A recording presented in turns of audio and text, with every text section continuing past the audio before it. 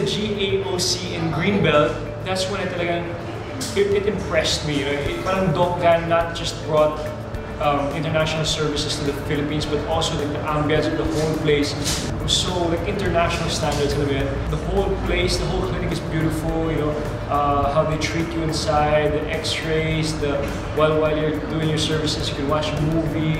Premium is the best. It's the best service you can get. All the nurses are very, very beautiful. I think that's what Steve Mark Gan's good at, having beautiful people around, everybody, diba? Uh, the doctors are always beautiful. They always, they always have amazing smile on their faces.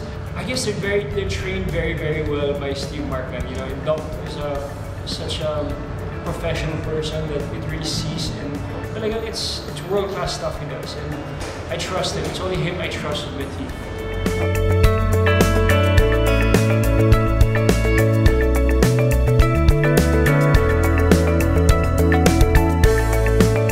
Guys, it's not GAO, it's G-A-O-C.